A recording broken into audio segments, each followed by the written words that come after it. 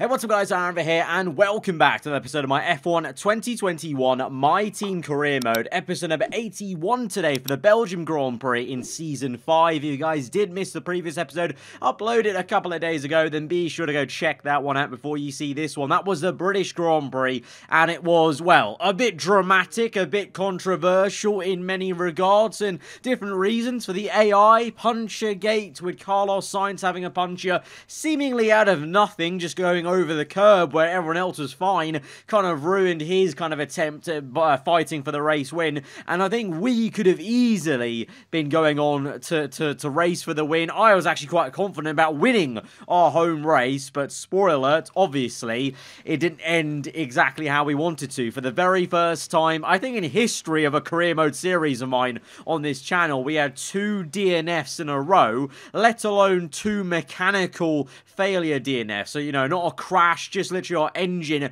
failing. This time it was the internal combustion engine, if you uh, were curious. The turbocharger went at Austria, and now the internal combustion engine. So, whilst we sign Leclerc for the second part of the season, it's going to be crucial that he remains focused, 91 focus. We're going to need him to start using that a bit because he's fallen off a little bit in the last two episodes, not been quite there right with us. And we need him. We need every point we can get as a team because we're now no longer in a comfortable position. We're in fact behind McLaren in the Constructors' Championship. And George Russell, well, he's won three races now this season. The only man to win even two, let alone three. And he's won two races back to back. It was a 1-2 for McLaren at the at Silverstone, the British Grand Prix. So I think a lot of you guys are actually enjoying that fact. But it was a little bit frustrating, I can't lie for myself. Not because of the DNF, but more because it was clear that Verstappen and Giovinazzi and, and Sainz were going to be there, especially Verstappen was leading the race. Giovinazzi was there as well, and I would have uh, thought if we had carried on the race, even if I wasn't in the fight, I feel like Verstappen and Giovinazzi would have ended up on the podium, you know, you know, barring any incident for them. So I feel like the simulation alone of when you retire and the game simulates the rest off camera, I think because of that, that's the only reason Russell and McLaren got a 1-2 and, you know, you saw Gasly up there. Whereas in reality, I think you saw the McLarens weren't quite there. They may have, you know, proved me wrong and caught up to Verstappen in Sainz and uh, and Giovinazzi, but I feel like uh, the game kind of gifted uh, that podium sequence. It was the same podium runners that we had in Austria, so you can see there's clearly a game coding pattern there. But we're going to push past. I'm not trying to make any excuses or whatever, because you know clearly Russell's you know AI is very very good at the moment this season. 93 rated, 86 focus, which is still pretty damn high, really in you know relative to other drivers and the whole entire grid. And he's clearly driving well, so you know he deservedly you know is right there in the fight. Uh, but you know he is a massive now. What was it, 41 or 42 points ahead of us?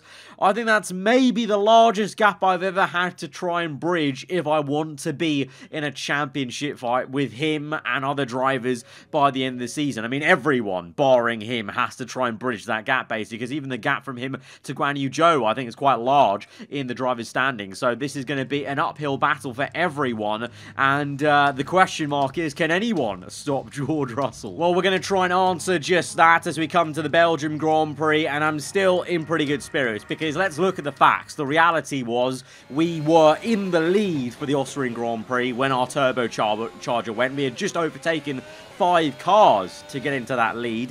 At the British Grand Prix, we were fighting for the win. Obviously, we had that little bit of damage with Verstappen and Giovinazzi in that pinching moment, but we were going to be there. And I think under the safety car, we were only, you know, P7 on, uh, you know, I think uh, the better tyre, which was the medium actually in reality, because, you know, even though I wanted to go into the hard tyres then, because of the safety car, actually the medium then became a better race tyre because there's less distance to go. So I think we would have been in a shout to win it. So both times that we've had DNFs, we have been fighting for the win. So there's no reason why for the third third race in a row now we can be fighting for the win.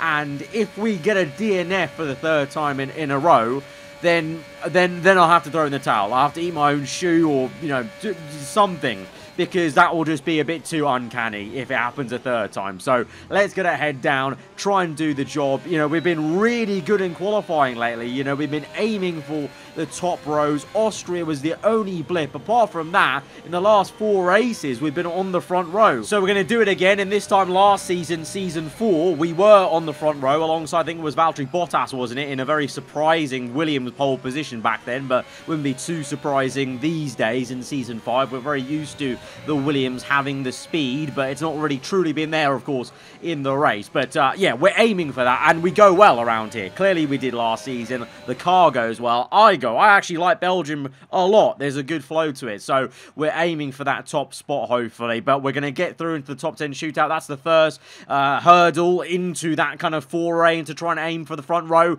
But I mention it because Leclerc has not for this second time in a row. What is going on with Leclerc? He's 91 focus, remember. And we mentioned we need him to be there. Both McLarens are through into the top 10 shootout, so that's not great. He's going to have to do some overtaking tomorrow to hopefully try and beat at least one of them. You know, if I can beat one McLaren and he beats the other one, then we outscore the entire team and we try and bring back this Constructors' Championship. You know, forget about the drivers for a second in terms of me bridging a 41 point gap. The Constructors, we've won three in a row. Like, it would be amazing, amazing to try and aim for the four in a row. Something that I don't think we, we didn't do in F1 2020 exactly. You know, there was a break in between. So this would be some kind of good record for us in the new My Team career mode era to try and get four in a row done on this game. And our teammates have been so strong on this year's game. Know, they've been, well, quicker than me uh, a majority of the time, one could argue, in the seasons. But Leclerc is really now having a bit of a slump and kind of losing momentum. You know, focus is there as a tangible number, but it seems that there is still that kind of just wish-washy momentum that's there with the AI. That if they have a bad race, even their focus is high, they'll continue to have a bad one unless they can, you know, kind of reset and, you know, get a win, get a podium, which Leclerc has not been doing. But we're not focusing on him, we're focusing on us, and at the moment it's overcast right now. We went early for a, for an, uh, a first fly lap because I didn't know there was maybe rain coming. We've seen that before at Belgium, uh, where the rain comes as you start the first flying lap. So at the moment it is all dry, and this will be our one and only lap time, remember, and we're on provisional pole position, and we're going to maybe share the front row Bottas again. It's season four all over, although, no, it won't be. I thought it may have been season four's front row, but the other way around, ourselves on pole, Bottas in second, no. Verstappen comes out of nowhere. How's he done that? In the Mercedes, in that midfield Mercedes car, he has gotten back pole position by a tiny margin, so that's really frustrating. That That's literally like a lock-up or something or, or other. That could have got us pole position here, but uh, Russell strong again, though, P4, so he's not going anywhere. He's still doing the best job he can to be there, you know, limiting the damage that, you know, we might inflict if we go on to, uh, to get a good result from the front row. But, um, no one else has uh, another lap apart from Tsunoda then. Everyone just had one flyer. So that is it. We all went out at the start of the session because we we're wary of rain and that is how it ends then. Max Verstappen on pole position in a Mercedes that very much really shouldn't have the pace to be there, really. If you look at where Hamilton is and where the team has been the last couple of seasons, that is insane. But we're on the front row alongside him. That's great. Ahead of Russell, but he's only one row behind us, so he's going to be lurking around. So tomorrow, it's one of the most important races of our entire career mode. Let's go. Welcome along then to the Belgian Grand Prix, the race that gave us the maiden victory for the Jordan team in 1998. And in the same team, the phenomenal debut of a young Michael Schumacher. There's always something special around one of the many corners of this fan favourite circuit. So here we are once again, ready to go racing through the Ardennes Forest. 4.35 miles of long straights, fast corners, and massive elevation changes. It makes this not only one of the most exciting circuits on the calendar, but one that makes for some consistently high quality racing as well. Simply put it, there really is no place quite like Spa. Anthony Davidson, a very warm welcome to you as you join me in the commentary box for today's event. Let's have a chat about Williams. What do you make of their performance so far this season? Well, the atmosphere within that team seems very positive at the moment. Everyone seems like they're in great spirits and having a lot of fun doing what they do, and that's definitely contributed to the performances we've seen. Before we begin, let's take a quick look at the grid lineup for today's race. Max Verstappen put in a fantastic lap yesterday, and he starts from pole position, and the owner driver alongside. Looking at the rest of today's grid, we have Bottas, Russell, Carlos Sainz, and Giovinazzi, Norris, Gasly, Ocon, and Charles Leclerc, Ricciardo, Stroll, Nikita Mazepin, and Zhou, Latifi, Ireland, Lewis Hamilton, and Mick Schumacher, Aitken, Tsunoda, they've taken a grid penalty, Matsushita, and Christian Lundgaard. Now, it's almost time for lights out, so let's go down to the track. Right, the scene is set then here for the Belgium Grand Prix. We're on the front row in second place uh, again, as we were in season four. But this time we've got a Mercedes, a slightly different looking Mercedes, on the front row right beside us. Verstappen, he will be standing in our way between ourselves and the race lead in the first lap. But then there's 22 to go. Still a long, long race. And tyre wear is going to be a tricky one, but I think we should be able to manage a soft to medium. The crucial thing will be trying to extend the soft testing as much as we can without losing too much time. But we've done it before plenty of times going on to the medium. It is the better race tar. The hard just takes way too long to rubber in around here, I feel, even though it will easily go the distance. The medium may be a bit of jeopardy at the end, but I think we can do the work on the soft compound. That shouldn't be an issue. And really, the bigger, the biggest thing will just be trying to, well, first of all, get Verstappen or whoever we need to get in the first few laps, and then it's about trying to break that one second tow and, and kind of, you know, pull away. Because around here on the F1 game, it's so easy to overtake and re-overtake and just, you know, go back and forth because of the slipstream and how powerful it can be with maxed out cars. So we know what we want to do today. It's one of the most crucial races potentially in this My Team career mode as we go to five red lights to the Belgium Grand Prix and we're underway. And what? What a start that it was for us versus Max Verstappen. That was pretty much pin perfect. As soon as the lights went out, we reacted on point. You could almost say we're kind of counting uh, seconds to when it was, but I'm, I'm not kidding. That was just literally the best start I've maybe ever had on this game. We didn't kind of preempt the lights going out. I just was so on it like a car bonnet, and we're up into first place. Meanwhile, behind, Bottas defending Giovinazzi, trying to make an overtake, and also George Russell's lost positions. He's down to P5 as we've got the Ferrari trying to overtake him. He might be pushed down to P6 there. Russell's lost two positions as now Sainz dives down the inside. Lock up from the Williams who's lost a bit of his front wing. Bottas has got damage then and the Ferrari is up into P4. Sainz uh, with a double overtake then Russell up into P5 as well as Bottas is slow. We're slow though as well through Pouhon. The AI are so unbelievably good through here. We're trying to squeeze out Verstappen, trying to defend, but he's got us. He's on the racing line, and we've been squeezed out. We've been washed out with that understeer, and we're back down to P2. So all that hard work undone a little bit right now at the end of lap one, but we have Blanchimont, we have the bus stop chicane still to come, and this may just turn into an absolute scrap and a half with Max Verstappen. We haven't really had uh, much of a fight, you know, consistently with Verstappen in this career mode as a whole so far in this entire series. So it's going to be some fun to fight Verstappen toe to toe for the first time, really. He's in the Mercedes, we're in a Porsche. Can we try and get first place back? We're on the outside. Our rear wing has failed. Our rear wing has failed, and we've gone wide there. I was too busy looking at the bottom right, being surprised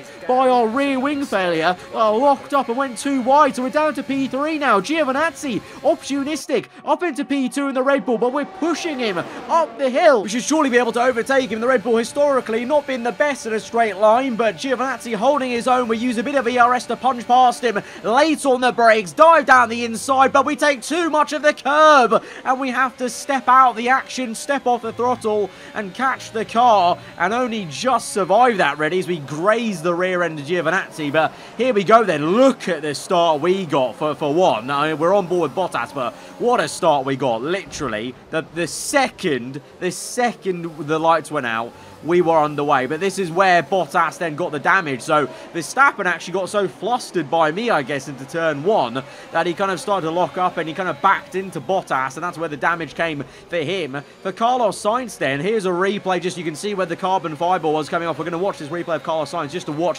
where this double overtake came from because he gets Giovinazzi, I think, into Eau Rouge. Oh! Oh, that's very fine. That may have been a bit, a bit of damage for Sainz, you know, who I think I, I know maybe is now pitting at the end of lap one. So Sainz, this is where he maybe got the damage. You see Giovinazzi getting up into P3, a lovely move around the outside of the Williams, and Sainz goes waltzing round the McLaren, and you can see the bot and uh, Bottas is so slow with that major wing damage that even Sainz with tiny wing damage can overtake him. But I'm sure Sainz has now made a pit stop as well. So both Sainz and Bottas are in to the pits for a front wing change. It was just that Bottas had a more dramatic bit of front wing damage compared to the Spaniard. Back to the race at hand though at the forefront, Verstappen and Russell swapping a fast of the Grand Prix, so it's crucial for us now to overtake Giovinazzi to then try and go and chase after the Dutchman because Russell, our main, well, the, the championship leader, the man we're trying to bridge the gap to in the championship now for the remainder of this season, he is in P4, so he's only just down the road, so we need to try and do as much as we can to be fighting for this race win. You know, if we get second place and Russell gets fourth at least minimum, that's really not good enough. That's that's hardly any points in comparison to a whopping 41 or 42 or whatever it is that we've got in deficit to him going into this one. And so we're going to chase after Verstappen. But lap four, our rear wing is still broken. So we've pushed away from Giovinazzi. We've clearly just got some pure raw pace in this car. But without DRS, it's going to be quite tricky to overtake Verstappen on that main straight. It may be a little bit different though through Blanchimont because Verstappen is a bit wide and just maybe slows himself down on the curb. We go for the dive. We have to take a lot of curb on the inside there just to try and keep that side by side. We're kind of just trying to, you know, hustle and harry Verstappen to make a bit of an error. He goes defensive into turn one. We go to the outside. Oh, bit of, of tyre banging there as Verstappen tries to squeeze us. But off turn one, we get a mega exit and we're now side by side. So fine on the right, but we're going to go side by side into Rouge and he blinks first and lets us through. Verstappen not choosing to commit to that up the hill probably deciding to instead re-overtake us maybe as he comes through. He's got DRS, of course, so he's got the overspeed, but we pinch him into the right-hand side and just about defend this P1. Now, in first place, of course, we don't even have DRS anyway, so the fact that our rear wing's broken won't matter too much at the moment as Verstappen sends it! Oh my god, Verstappen out of nowhere! Uh, the kamikaze dive down the hill. He's made some contact with us, I'm pretty sure. We're now side by side down the hill. We're back into P1. Verstappen tucks in, but through Pouhon, he's going to be so good. We're so poor. The AI are literally on rails through that corner. We're going to come back at him, though. Down the inside, we're still going at it toe-to-toe. -to -toe. And then the next section, oh, Verstappen's lost the back end. Oh, my word. Oh my days. That was an amazing battle, and that was such a lifelike performance from Verstappen there. Uh, very realistic dive bomb and over-aggression from him, I must say, on the inside there. Makes a bit of contact, so I don't know if he's got damage or not. I don't think so, but very, very late lunge from Verstappen. And, you know, if I closed the door anymore, there would have been a crash and would have been a uh, spin for one of us probably. But then he goes down the inside. Good bit of uh, overtaking there by the Dutchman. But then this next pot is very peculiar because he basically just loses the rear end. Like, oh, he gets on the curb. And, I mean, it's great drifting skills from Verstappen. Giovinazzi now up into P2. Really well held. Great catch by Verstappen. Um, but very odd to see, you know, that was literally all him. We made no contact. We were nowhere near him, actually. And he just got it all crossed up on the curb. But that, that's so, like, lifelike, like, so human-like uh, of Verstappen's AI. So I was very impressed by that. I've never seen that happen uh, with an AI, just losing the back end on a curb. Usually the player is the one that has uh, you know issues with the curb. But now Verstappen is trying to make amends on lap 7. He closes up to Giovinazzi, but it's not quite enough to overtake him. Meanwhile, Russell has slowly gone about his business and is there in P4, only about you know less than a second now behind uh, behind Verstappen. Meanwhile, his teammate Lando Norris fighting Guan Yu Zhou and the Williams. Guan Yu Zhou looking for the overtake. It's McLaren v Williams. It's going back to the old old ages, uh, you know, iconic fight between these two iconic brands, and it also includes Jaguar as well, and we've got the Ferrari of Ricciardo just behind, but up the road then, bit of a gap, Gasly in P5, he's even closing up to be honest, so, so this could be a four-way fight between Giovinazzi, Verstappen, Russell and Gasly, we're pulling away, two seconds the gap, Verstappen versus Giovinazzi, that will help us, that will help us pull away and just, well at the moment what I need to do is, you know, maintain this P1, maintain this kind of two plus second gap, because this allows me time just to kind of ease into corners, not take it too harshly, try and not lock up as much to try and protect those tyres. Meanwhile, Verstappen is in. Verstappen's in. Bit of an early pit stop, I would say. So that's going to maybe make us react because Russell's continued on along with Gio and Gasly. But if Verstappen is coming in now, maybe we need to think about covering him off. I don't know. Let's see. Lap number eight, we are going to continue on because actually my pace is pretty okay. We're not going quicker. We're not setting green lap times, but we're not going too slow. Meanwhile, Giovinazzi and Russell are in for their pit stop, as well as Guan Yu Zhou and Ricciardo. Oh no, they're side by side in the pit lane. This cannot end well, and it's not going to. It's not quite the dramatic crash I thought it was going to be. Guan Yu Zhou saved by the game mechanics, resetting in the pit lane, but the full core safety car is out. Mazepin's out of the Grand Prix. Is that the safety car out for the pit lane incident? I don't think it is. It's because of this. The Alpine spins it, a Blanchimont, and oh, there's a massive, massive crash. Tsunoda and Callum I think that is, caught up in that. That's so unfortunate for the Japanese driver. Completely blindsided. Such a dangerous incident there between the Alpine driver, Mazepin, Ilott, and the Aston Martin. That, I mean, that's just, he's coming at full power. I don't know why there weren't yellow flags there. So the safety car's out. We continued on. So I was worried that we got screwed over by the fact that the safety car came out as we'd already gone past the pit lane entry. But because we're 20 seconds ahead of everyone, because we're the only, well, apart from Leclerc, we were the only other car yet to pit in that whole kind of uh, pack. So we've got the gap, and so under the delta time, we should be fine. We're in, no damage for us. Easy does it, onto the mediums, and now with the safety car, easily, easily should be able to go to the end on the center medium tyres. Leclerc, interestingly, does not come in. So that's a bit of a mistake by Leclerc.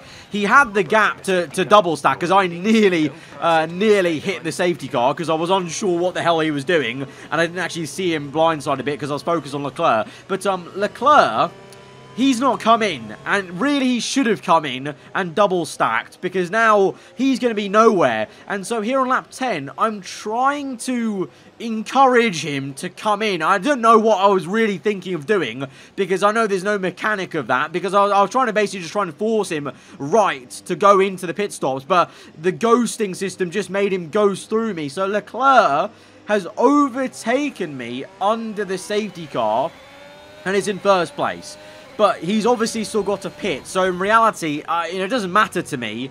You know, we're going to be in first. Leclerc is going to pit either this lap as he comes, as the safety car comes in, or he's going to pit in the next lap or two, and he's going to be nowhere. So I think let's try and help our teammate out because, yes, I've got my own race to worry about, but I need him to try and at least beat one of the McLarens today to try and help our constructors course. So I just slowed down and I thought maybe I would get a warning for this because in I think in real life the rule is you have to be 10 car lengths. You know, you can't, you know, drop that. But now because the safety cars come in, maybe the game doesn't think that rule applies. So I just slow down. Very cheeky, I know, but the game mechanics allow it.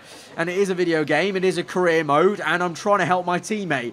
I'm not trying to help me out. There's nothing to do with me. It's to, to do with him. I'm trying to help Leclerc out as much as I can here. So we go racing with a with an 8.3 second gap to Leclerc. Bit ridiculous, I know, but I'm trying to do as much as I can as a good teammate to help him out. Because now when he pits, yes, he'll be last place. He'll be behind all of us, but he won't be as far back as, let's say, Stroll and Hamilton will be, because those two have also not pit, and I bet you will see later on in this Grand Prix they're going to be miles away.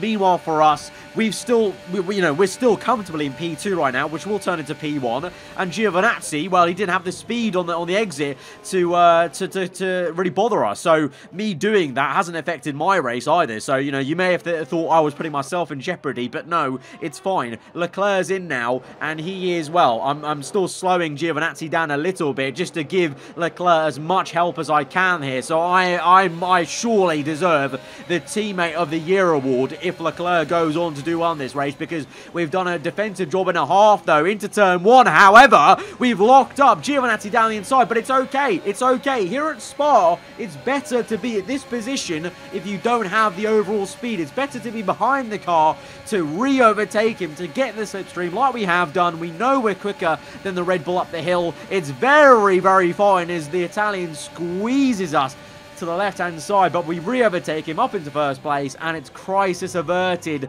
and we now, well, our, our game plan is to now try and break the one second and pull away from the Italian uh, in second place. Gasly third, Ocon fourth, Schumacher fifth, Bottas in sixth. Russell was in P7, but he's just been die-bombed by Daniel Ricciardo. He just got overtaken by Bottas as well, I'm pretty sure as well. What's happening to George Russell, the championship leader, the man we want to try and get as many points on? He's having a mare. Verstappen's down the inside. Has he got an issue? Has he got a mechanical issue that's slowing him down temporarily. Let's have a look at a replay. So on the restart, he was actually going for a move on Mick Schumacher. I'm pretty sure this is. Yes, it is Mick Schumacher. On the outside, he tries to overtake the German, but instead I think gets overtaken by, yeah, by Bottas. Bottas just slides down the inside. He's up the order, and then this is a huge dive from Ricciardo, and Russell's clearly got some niggling issue or something because he's just going very, very slow. He's got, he's, there's no damage on the car, so I don't know what it is really, but you know, whatever it is, it, it's hampering him because then Verstappen goes down the inside as well. So this is a disaster for Russell. This is a disaster for McLaren. It's amazing news for us. This is exactly what we need. Russell having issues whilst we're up in first place. And we cut back to the live racing action and he's still got issues because Guan Yu Zhou now is going to overtake him and relegate him maybe down to P10 uh, in this race. This is quite something. This is the literal best scenario ever. We're in first place, Russell's down in P10, and, well, you've got to think behind him, Sainz there, he overtakes Latifi, Sainz may be able to overtake him as well. So we're going to have to watch out for this later in the lap to see what Sainz can do, but Russell's clearly struggling a lot. And it's not a McLaren issue, because look at that, Lando Norris is overtaking Latifi, and he's catching up with uh, Carlos Sainz, so it's not an issue that Lando has, so the, the, the McLaren has pace, we saw that, Russell was in P4 in qualifying, but he's got some sort of mechanical issue we know that can be a thing for the AI where, uh, you know, I'm told on the radio that so-and-so's got an issue, they're going to be slow temporarily. It's probably usually for about, you know, three or four laps, but it's enough laps for damage to be done, and clearly damage is going to be dealt here as Carlos Sainz now on the left-hand side, the long way around the Brits, and Russell is just defenseless. This is going to be so painful for him. Of course, though, the, the flip side is, because he's got such a big cushion in the championship, it won't matter too much to him. He's still going to be leading the way by quite a fair amount, but it obviously helps us out. And then look at this. Leclerc, he's right on the back of Aitken, whereas Hamilton, uh, a few seconds further down the road. So it's not a massive massive difference, but it's a difference nonetheless that we helped out Leclerc be right there with Aitken, and hopefully Leclerc to go, could go on to overtake Russell even, maybe, if Russell's issues, uh, you know, uh, continue uh, for the remaining laps. He's been overtaken by his teammate now, so really showing that Lando is quick, and uh, it's really just down to, to an issue with uh, Russell's car. Saying that, though, Lando, I've already noticed, he's on the soft compound tyre, so McLaren are doing a two-stop with Lando Norris. So McLaren, as a team, they've really balls up this race. I don't know why Norris is on a two-stop and Russell's just got an issue, uh, even though he's going to the end of the Grand Prix. So all round, not great for the, uh, well, the, the what used to be Papaya and now Gulf uh, Baby Blue and Papaya cars. Meanwhile, up the order, Ocon still sits in P4, very amazingly, in the Alpine. So how long can he keep that up? And then we've got Gasly chasing after Giovinazzi Who is trying to keep the pressure on myself on lap 15. We're going to try our best to try and break the one second, or at least try and maintain the lead base and keep Giovinazzi at an arm's length, and that's exactly what's happening now. Lap 20, so five, six laps have gone by. We're still in first. The whole time we've kept Giovinazzi at a very stable seven to uh, six to seven tenth gap, which I'm really happy about. Quite proud at being that consistent. Meanwhile, Schumacher finally making a move. It might be on for a very strong race for the Red Bull family as Giovinazzi, Gasly, now Schumacher are what, uh, two, three, and four. Ocon doing an amazing job, it must be said, in the Alpine, but he just can't hold on for any longer, and he's down to P5 then. But Schumacher, good overtake for him. A strong race then for Red Bull as a whole to be up in P2 and P4. Meanwhile, Russell well, by lap 20, his car has been fixed. You can see now he's pulled away from Latifi, whereas before he was actually holding up Latifi. So his car's fixed, but the damage has been done. He's pulled away from Latifi, but he can't catch up to Sainz because even with a quick McLaren, you know, the Ferrari's still pretty quick and Russell's now no man's land. Meanwhile, uh, Norris did pit again and Leclerc I don't know what's happened to Leclerc. He's on the hards. He's been on the hards the whole time. So I think that's half the reason why he's doing so poorly. But I think he's just lost confidence. And it's very, very peculiar. Just no momentum with the man from Monaco. Meanwhile, to the last lap of the Grand Prix, my tyres are now very, very worn to the point where the game is indicating we could be at the puncture territory. And Giovinazzi is right up our chuff. He's pushing us up the hill this time. In stark contrast to before, the Red Bull. Could he go for a move for P1 on the last lap. We've done so well to hold him at 7 tenths, but now he's got DRS, he's got the exit, but instead we're going to try and go back down the inside, and we're going to just hold through. We won't get overtaken this time as we did before by Giovinazzi, and we won't back down in that corner like we had to previously versus the Italian, and although he had a good run, I think we should be able to just hold this through. We've saved ERS on purpose for the end of the lap, so Gio will pressurize us. He's there.